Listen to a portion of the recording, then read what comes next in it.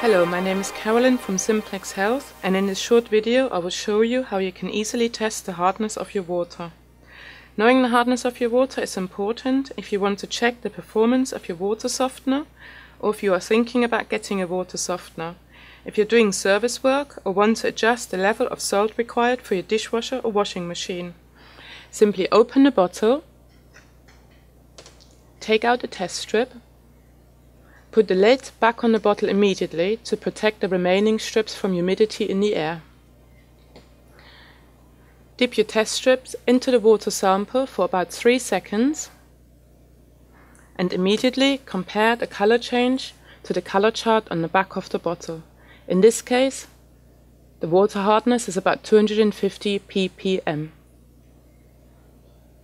As you can see, these test strips are made of plastic, so they don't go floppy or the water doesn't run down the back of the strip onto your hands. The test strips are safely so stored inside a plastic bottle until the next use.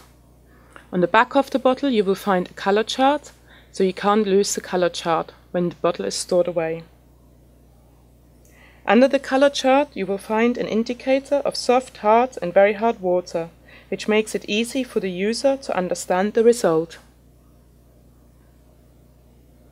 Simplex Health Total Hardness water test strips are easy to use.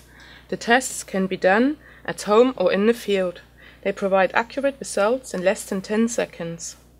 The Simplex Health Hardness test strips are easier and quicker to, to use than drops. Each pack contains 50 test strips, which is enough to test 50 water samples, and therefore they offer very good value for money. Thank you for watching.